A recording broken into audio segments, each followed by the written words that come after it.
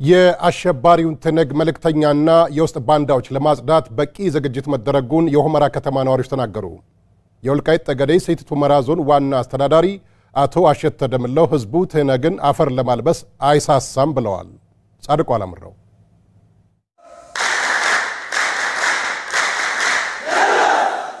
በወልቃይት ጠገዴ ሰቲት ሁመራ ዞን የሁመራ ከተማ አስተዳደር በከተማዋ ከህዝብ አደረጃጀቶች ጋር በወቅታዊ ጉዳይ ዙሪያ ውይይት አድርጓል።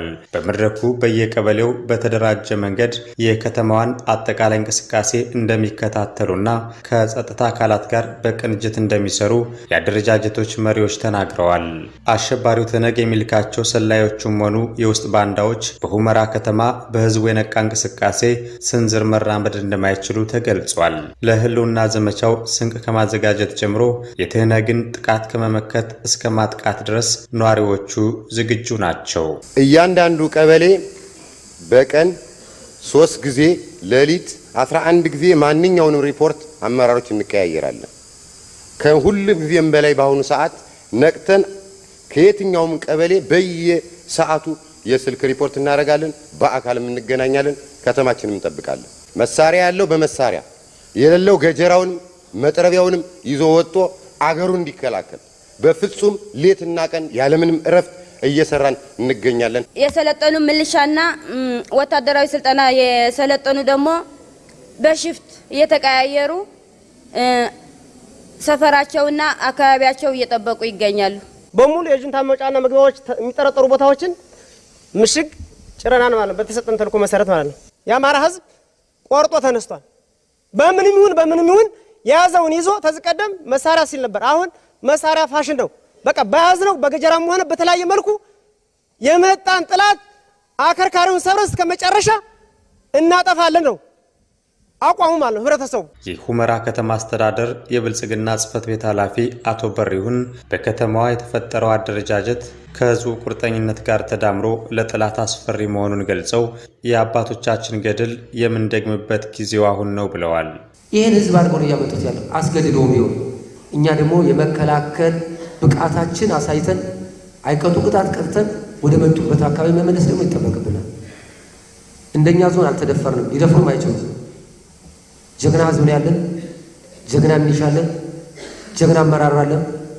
ሁላችን ጀግና ሰራዊት አለን፣ ማብተን አለን፣ ፌደራል አለን፣ መከላከያ አለን። ሁላችን በቁርኝት ስለምንሰራ አይደፈርም። የሚሸሽ ሰው አይኖርም። በአማራ መሸሸት ነውሩ ባህሉ ማለት ነው። የወልቃይት ጠገዴ ሰቲት ሁመራ ዞን ዋና አስተዳዳሪ አቶ አሸተ ደምለው አሸባሪው ትህነግ ወልቃይት ጠገዴ ሰቲት ሁመራ እንደናፈቀው ትቀራለች፣ ህዝቦቿም ትህነግን አፈር ለማልበስ አይሳሱም ነው ያሉት።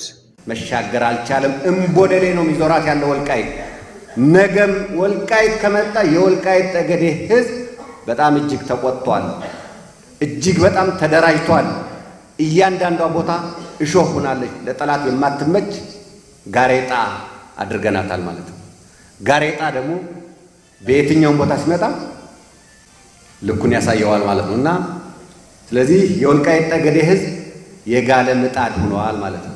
በጋለ ምጣድ ላይ አንድም ዝንብ አያርፉ። እንዴት እኛ እያለ ወልቃይት ጠገዴ ትደፈራለች ብሎ ተነስቷል። ሊገባ ይችላል። ከገባ ግን መውጫ የለውም። በርካታ መቅበሪያ ቦታዎች ደግሞ አዘጋጅተንለታል።